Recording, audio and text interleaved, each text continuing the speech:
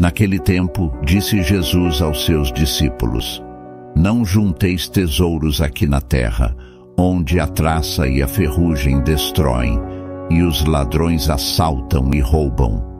Ao contrário, juntai para vós tesouros no céu, onde nem a traça e a ferrugem destroem, nem os ladrões assaltam e roubam. Porque onde está o teu tesouro, aí estará também o teu coração. O olho é a lâmpada do corpo. Se o teu olho é sadio, todo o teu corpo ficará iluminado. Se o teu olho está doente, todo o teu corpo ficará na escuridão. Ora, se a luz que existe em ti é escuridão, como será grande a escuridão? Palavra da salvação.